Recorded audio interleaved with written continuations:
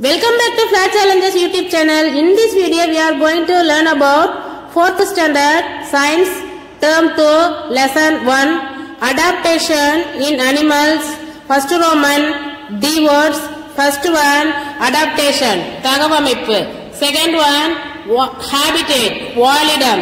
Third one Region Pagudi Place Fourth one Weather வானிலை Fifth one குளிர் பிரதேசத்தில் வாழும் விலங்கு. சிக்ஸ்த் ஒன் ஃபிளப்பர் விலங்குகளின் கொழுப்பு. செவன்த் ஒன் மைக்ரேஷன் பறவைகள் இடம்பெயர்தல் எய்த் ஒன் ஹைபர்னேஷன் குளிர்காலத்தில் விலங்குகள் அசைவுறாமல் இருத்தல்.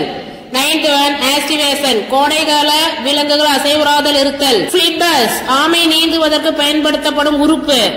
ஆப்டிக் டென் இது ஒரு வகையான பறவை.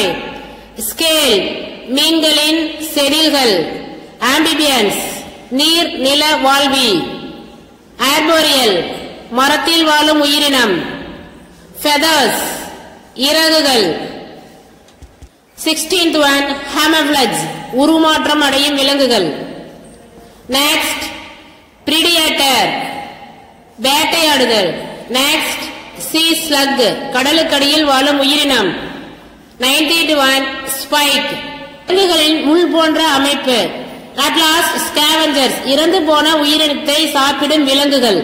Magic first one turtle flippers amphibians frog and toads scavengers eat dead animals the third roman filling the blanks. First one the arctic terns are migratory birds second one the condition in inactivity in animals during winter is called hibernation. Next, carnivorous birds like eagles have a keen eyesight. Next, answer the following. What are amphibians? Amphibians are animals that can live both land and water. Next question answer. What is blubber?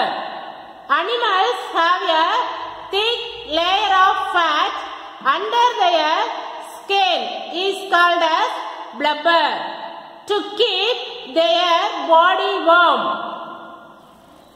Finally, we will see about word verb. Arboreal animals. Birds, monkeys, sloth, koala bear and squirrels. Students, copy down in your fair note neatly. Thank you.